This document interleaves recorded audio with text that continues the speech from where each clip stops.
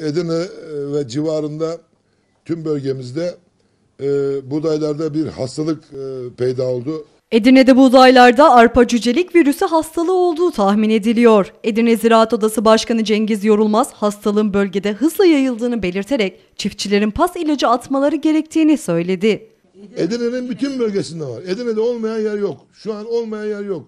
Bakıyorsunuz bir gün önce e, benim tarlamda yok diyorsunuz ama iki gün sonra gidiyorsunuz sizin tarlanızda da başlamış.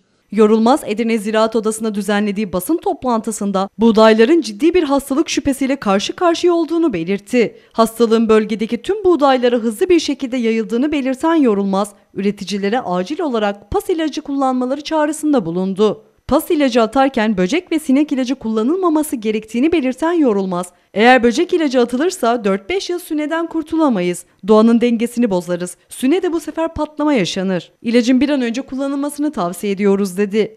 Bu hastalıkla ilgili tüm yetkili kurumlara e, bilgi verip e, arazilere çıkmasını temin ettik. Bilgi kirliliği var şu an piyasada e, çok büyük işte e, uzman olmayan kişiler bu anlamda e, konuya hakim olmayan kişiler bu ilacı bu ilacı kullanın diye e, bilgi kirliliği var.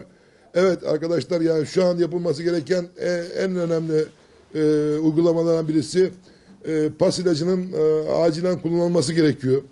Yani buradaki pas ve külleme hastalıkları e, e, ve bu hastalığı bir nebze olsun durdurabilmek için pas e, ilacının e, fungusitlerin yani mantarı hastalıkların önlenmesi için pas ilaçlarının önemli olması e, söz konusu. Ama buradan çiftçimizden ve e, tüm e, kamuoyundan istediğim şu e, böcek ilacı kullanıyorlar. Şu anki e, bu virüsün e, evet e, virüs diyoruz e, arpa e, cücelik virüsü şu anki gözüken e, konu buradaki uzman kişileri de bunu söylüyor ama işte biz e, Ege Üniversitesi'nden son e, laboratuvar sonu çıkmadığı için burada bunu vurgulayamıyorum size. Ama onunla da ilgili bilgi vereceğim. E, İngilisit yani böcek sinek ilacı kullanılmasını tavsiye ediyoruz. Çünkü eğer bunu bugün kullanırsak sünenin yumurtasını e, bozan yani e, arıcıklar dediğimiz sinekleri öldürüyoruz ve 4-5 sene süneden kurtulamayız sonra. Süne bu sefer süneyi doğanın dengesini bozup sünenin patlamasına sebebiyet vereceğiz. Bu anlamda istirhamım, isteğimiz, arzumuz e, kişilerden istirham ediyorum. Kimse sinek ilacı kullanmasın. Artık zamanı geçti çünkü sinek ilacının. Bunu e, üstüne basa basa söylüyorum.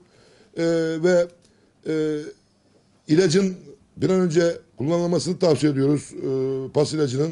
E, biraz e, maliyetli bir e, ilaçtır. Dekara en ucuz maliyetli 5 lira 6 lira ve 11 liraya kadar e, maliyeti olan ilaçlardır bunlar. Ama bu yıl muhakkak herkesin kullanmasını tavsiye ediyoruz. Çünkü eğer kullanılmazsa hastalık hızla yayılıyor. Bu yıl rekor bir yıldı. Evet e, Trakya'da korkunç bir buğday e, popülasyonu vardı. Ama ne yazık ki bu hastalıkla tabii bunu yaşayıp da göreceğiz, öğreneceğiz. Hastalığın en belirgin özelliğinin buğdaylarda sararma ile görüldüğünü belirten Ziraat Odası Başkanı Yorulmaz, hastalıklı buğdayın sağlıklı buğdaya göre 10-15 santim daha alçak ve sarı renkte olduğunu söyledi. En büyük şeyin de sıkıntısında. Nedir sıkıntısı biliyor musun? Bak şurada başak var. Şurası başak var bitkinin. Bak şurada şu elimin olduğu yer başak. Hissedersiniz siz de. Bitki artık en zor noktasında.